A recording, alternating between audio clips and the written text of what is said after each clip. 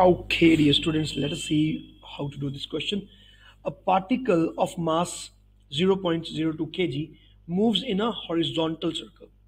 My dear student, whenever there is this thing written in the question that it is a horizontal circle, it means that we need not to care for the gravity that is acting. So you can just assume that there is no gravity, okay?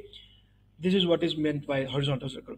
Of diameter 1 meter with an angular velocity of 3 pi radian per second, what is the magnitude and direction of the force responsible for this motion? Fine. So what is the force that is responsible for this circular motion first of all? Well, it is known as centripetal force and the magnitude for the centripetal force is given by mv square by r or mr omega square you can use either of the formula. Like in our question omega is given so we will be preferring this mr omega square. And uh, the direction of the centripetal force is always towards the center. And this is what they're asking. So the direction of the force is towards the center towards the center and we need to find the magnitude.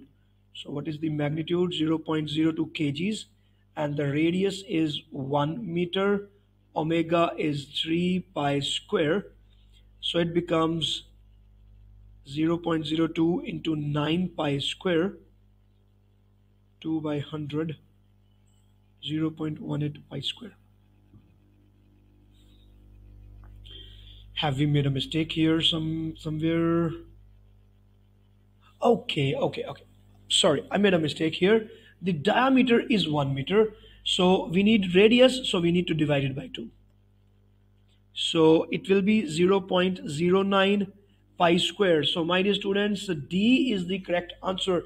I'm really sorry for that thing because I'm I don't do these questions first. This is the first time I'm doing this question, okay?